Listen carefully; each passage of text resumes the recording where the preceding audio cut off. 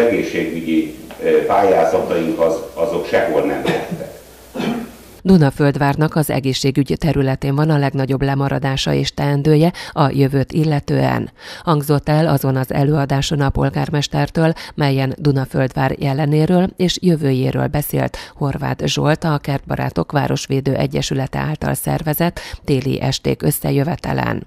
A lakosság komfortérzetét növelő beruházásokkal nagy léptékben fejlődött a város. Mind az utak, járdák, a Dunapart megújítása, a piac, béketér, és ezek mellett pedig lenne a humán erőforrás képzéséhez, a gyermekeinkhez, a bölcsőde, az iskola, az óvoda megújítása történt.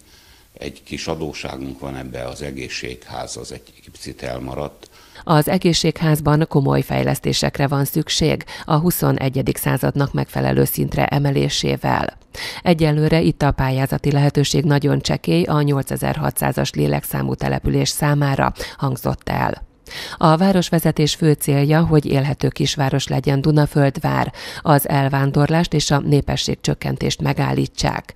Ezt szolgálja az is, hogy az elmúlt években nagyobb cégek, vállalkozások települtek a város határába.